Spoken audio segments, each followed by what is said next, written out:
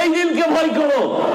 যেদিন মহান আল্লাহ রাব্বুল আলামিন সাত শ্রেণির মানুষকে আরশের ছায়ায় আশ্রয় দিবেন, যেদিন আরশের ছায়া ছাড়া অন্য কোনো ছায়ার ব্যবস্থা থাকবে না। সাবআতুন ইউদিল্লুহুমুল্লাহু ফি দিল্লিহি ইয়াউমা লা দিল্লা ইল্লা দিল্লুহু, ইমামুন আদিল। মনে রাখবেন সাত শ্রেণির। সাত শ্রেণির মানুষকে আল্লাহ তালা আরশের ছায় আশ্রয় দিবেন। আপনি কোন তালিকায় পড়ছেন? আমি কোন তালিকায় পড়ছি? মনে রাখবেন, গুনে রাখবেন।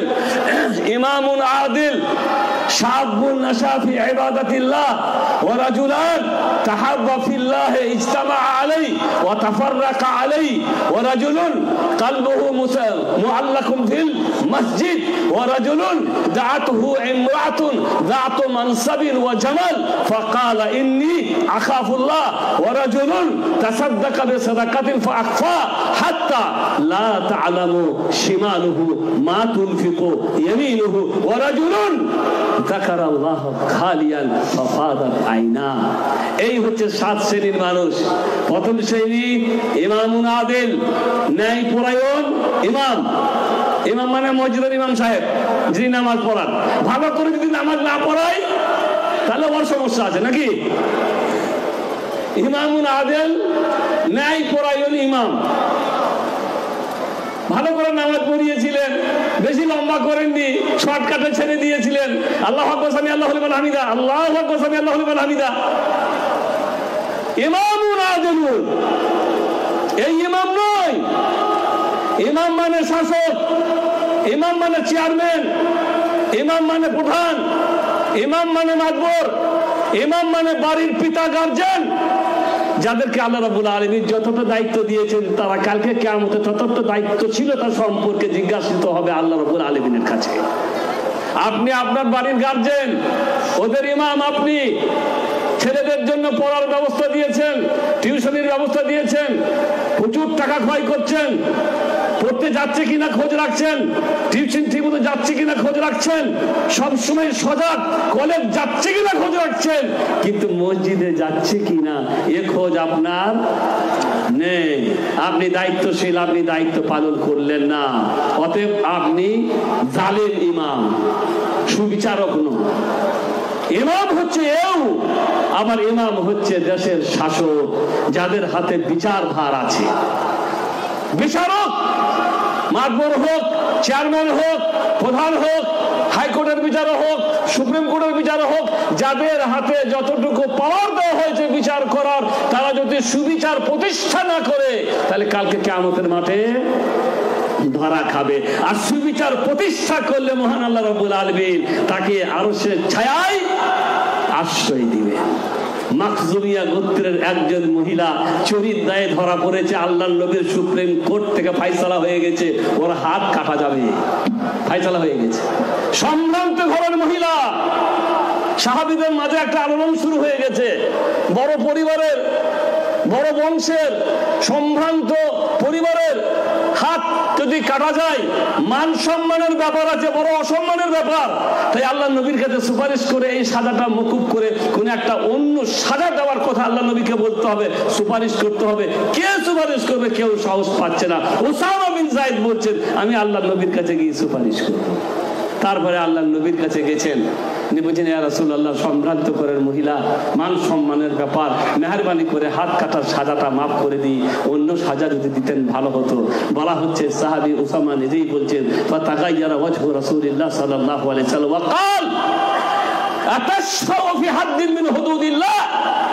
হে উসামা, তোমার এত সাহস আল্লাহর বিধি পরিবর্তন করার জন্য আমার কাছে সুপারিশ করতে এসছো। এটা আমার বিধি নয়, এটা আসমান ওয়ালা আসমান থেকে পাঠিয়েছে। চুরি যদি পুরুষ করে বা মহিলা করে যেই করুক, তাদের হাত কাটতে হবে। এ বিধি আল্লাহর দেওয়া বিধি আমার নয়। আর তুমি এই বিধি পরিবর্তন করার জন্য আমার কাছে তুমি সুপারিশ নিয়ে এসছো। সম্মানিত মহিলা, আরবের মধ্যে সম্মানিত সব থেকে বড় বংশ, উচ্চ বংশ ছিল ক্রাইশ বংশ। আরবের মধ্যে তখন বংশ নিয়ে খুব গর্ব করা হতো যে জাহিলি পথা আজও আছে।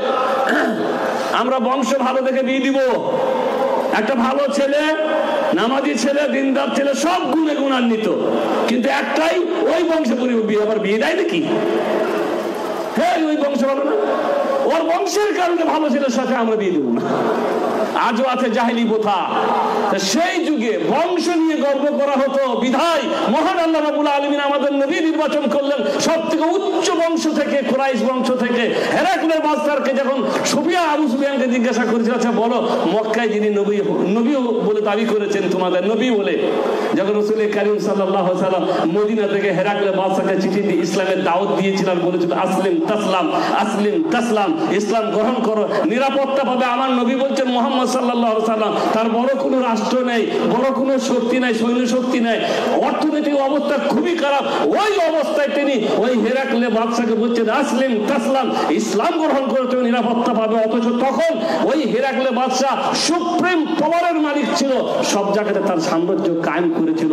এই লোকটি অবাক এই বাদশাহ অবাক হয়ে গেছিল। এত বড় কথা কে বলে? এত বড় কথা কে বলে? আবু সুফিনকে জিজ্ঞাসা করেছিল আচ্ছা বলো, তোমাদের এই নবীর সম্পর্কে আমি কয়েকটা তোমাকে প্রশ্ন করব তুমি সঠিক উত্তর দিবে উনি প্রথম প্রশ্ন করেছিল যে, এর বংশ সম্পর্কে তোমার কি মত? তখন আবু সুফিয়ান বলেছিল, আরবের মধ্যে সর্ব উচ্চ বংশের সন্তান তিনি।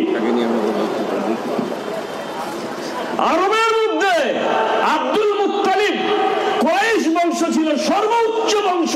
সেই বংশের সন্তান তিনি। অতএব বংশে খুঁড়া দেওয়ার মতন কোনো উপায় কোনো উপায় নেই।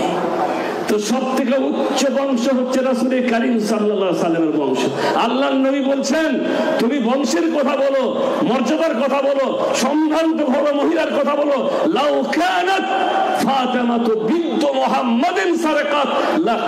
ইয়াদাহা। যদি মুহাম্মাদের বেটি ফাতেমা চুরি করত, আমি তার হাতও কেটে দিতাম। আমার বেটি ফাতেমার থেকে সম্ভ্রান্ত বংশ কারণে চুরি আমার বেটি করে তারও হাত আমি কেটে দেবো। এর নাম হচ্ছে সুবিচার ন্যায় পরায়ণ শাসক, বিচারক। এরকম বিচার প্রতিষ্ঠা যদি কেউ করে যায়, কালকে কেয়ামতের মাঠে আরও সে ছায়ায় আশ্রয় পাবে। দুই নম্বরে শাহুল নাসাফি ইবাদাতিল্লাহ। মাশাআল্লাহ, আজকে চোখের সামনে বস, বহু যুবক ছেলেদের কিন্তু দেখতে পাচ্ছি আল্লাহ রহমতে, আল্লাহর পছন্দ করে বলছি, খুব ভালো লাগছে। আমার যুবক ভাইরা বর্তমানে ইউটিউব এবং বিভিন্ন মাধ্যমে দিনকে শিখতে সক্ষম হয়েছে। বিভিন্ন আলেমদের আলোচনা ইউটিউবের মাধ্যমে, নেটের মাধ্যমে, বিভিন্ন মাধ্যমে গ্রহণ করে ভাইরা, মহিলারা সবাই আজকে ইসলামকে জানতে শিক্ষা করছে। লন্ডন থেকে এক মহিলা টেলিফোন করে আমাকে বলছে, আমি আপনার বক্তব্য শুনলাম পিস টিভিতে। এখন আমি চাইছি, আমি ডাক্তারি পড়া ছেড়ে দেবো বাংলাদেশি মহিলা। ডাক্তারি পড়া ছিল কেন? বলে, আমি ডাক্তারের শেষ বর্ষের ছাত্রী। এখন ডাক্তারি পড়তে গেলে মুখটা খুলে রাখতে হয় ডাক্তারদের সামনে। এখন আপনাদের বক্তৃতা থেকে মনে হচ্ছে যে আমাদের মুখ খুলে রাখা ঠিক নয়। অথবা আমি বক্তৃতা, আমি ডাক্তারি পড়া ছেড়ে দেবো। আপনার কাছে পরামর্শ চাই। আমি উত্তর দিয়ে বললাম যে, আপনি ডাক্তারি পড়া ছাড়বেন না। না! আপনাদের মধ্যে মহিলা ডাক্তার সমাজে প্রয়োজন আছে, আপনি নিয়োগটা পাল্টিয়ে দেন। নিয়োগ পাল্টিয়ে দেন যতটা প্রয়োজন খোলার, ততটা খুলুন। বাধ্য হয়ে একটা মেন উদ্দেশ্য, প্রধান উদ্দেশ্যকে সামনে রেখে যে মহিলাদের আমি খিদমত করব। আজকে মহিলা ডাক্তার সমাজে না থাকার কারণে আমার, আপনার স্ত্রীকে পুরুষ ডাক্তারের কাছে নিয়ে যায় এবং সেই অঙ্গটাকেও দেখা, দেখাতে হয়। যে অঙ্গ মহিলাদেরকে দেখানো যায় নয়। কিন্তু কি করব?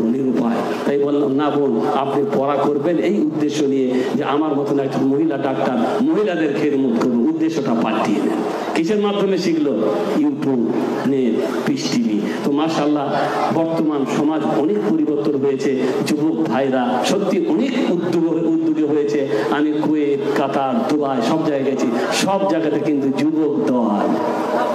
কুয়েতে নিয়ে গেছে যুবক ভাইরা দুবার তিনবার নিয়ে গেছেন কাতারে নিয়ে গেছে যুবক ভাইরা দুবাই নিয়ে গেছে যুবক ভাইরা আজও পর্যন্ত কিছুদিন পরে দুবাই আছে, আবার যেতে হবে। মোট কথা হচ্ছে, আল্লাহ দিয়েছেন। মন পরিবর্তন হয়েছে। আরে বুড়ো অবস্থায় কোমরের খেয়াল এমনি আসে। বুঝতে পারলেন? ডায়াবেটিসের রুগী, হাই প্রেশারের রুগী, কোলেস্টেরল, কখন যে হার্ট অ্যাটাক হয় আল্লাহ জানে। তো এখন তো সবসময় কোমরের কথা ভাবতেছে। এতগুলো রোগ। এটা আসল বাহাদুরি নয়। আসল বাহাদুরি হচ্ছে যুবক অবস্থায় যখন আপনার শরীরে তাজা রক্ত, ওই অবস্থায় আপনি যা ইচ্ছা তাই করতে পারেন। কিন্তু না, আল্লাহর ভয়ে আপনি আপনার জৈবনটাকে সংযত করে রেখেছেন, অবৈধ কোন কাজে ব্যবহার করছেন না। আপনি যদি ইতিহাস খুঁজেন, সাহাবিদেরকে দেখবেন, যারা দিনের খেদমত করে গেছেন, তারা সবাই যুবক ছিলেন, যুবক। ইবনে আব্বাস তাআলা আনহু, মুফাসসিরে কোরআন আল্লাহর নবীর মৃত্যুর সময় একজন ইয়াং যুবক ছেলে আবু হুরায়রা, যিনি সর্বাধিক হাদিস বর্ণনা করে গেছেন আল্লাহর নবীর মৃত্যুর সময় তার বয়স 32 থেকে 33 বছর। এই যুবক তারা ছিলেন যারা দিনের খিদমত করিয়েছেন। তো যুবক অবস্থায় যদি আল্লাহর ইবাদত করেন, তা ইনশা আল্লাহ তাআলা কালকে কিয়ামতের মাঠে আল্লাহ রাব্বুল আলামিন আপনাকে আরশের ছায়ায় আশ্রয় দিবেন।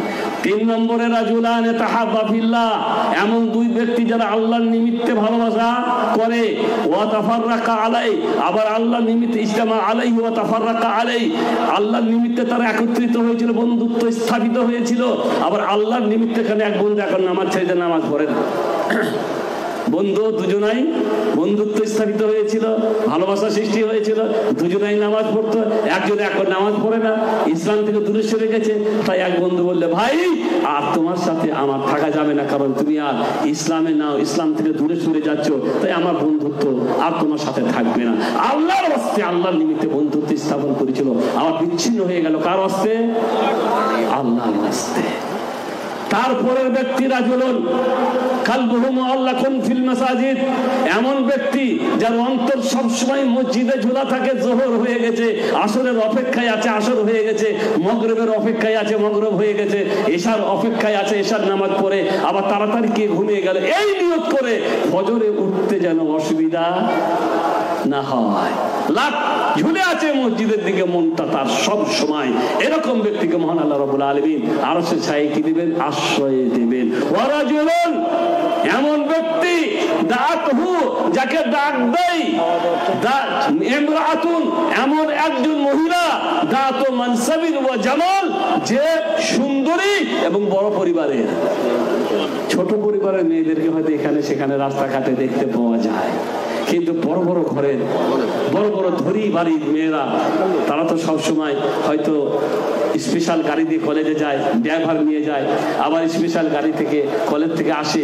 এরকম একজন সম্ভ্রান্ত ঘরের বড় ঘরের মহিলা যদি আপনাকে ডাক দেয় এটা কত বড় ব্যাপার জানেন?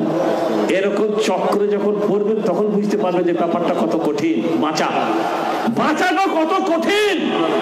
সেই বুঝতে পারবে যে এরকম সুযোগ পাওয়ার পরে প্রত্যাখ্যান করে। সে তখন বলে এমনি আকাফুল্লাহ তোমার ডাকে আমি সাড়া দিতে পারি না, তোমার ব্যবচারের ডাকে আমি সাড়া দেব না, কারণ আমি আল্লাহকে আল্লাহকে ভয় করি। সাত নম্বরের মানুষ হচ্ছে রাজুলন এমন ব্যক্তি রাখার আল্লাহ খালিয়া, যে নির্জনে, আল্লাহকে স্মরণ করে নির্জনে মানুষ ঘুমিয়ে থাকে, সে উঠে তাহাজ্জুদের নামাজ পড়ে, নির্জনে আল্লাহকে স্মরণ করে ফাফাদাত আইনা, তখন আর স্মরণ করতে করতে তার দুই চোখ দিয়ে পানি আসে। এইরকম সাত শ্রেণির মানুষকে মহান আল্লাহ আলমিন কালকে কেয়ামতের মাঠে আরও সে ছায় কি দিবেন? আশ্রয় দিবেন।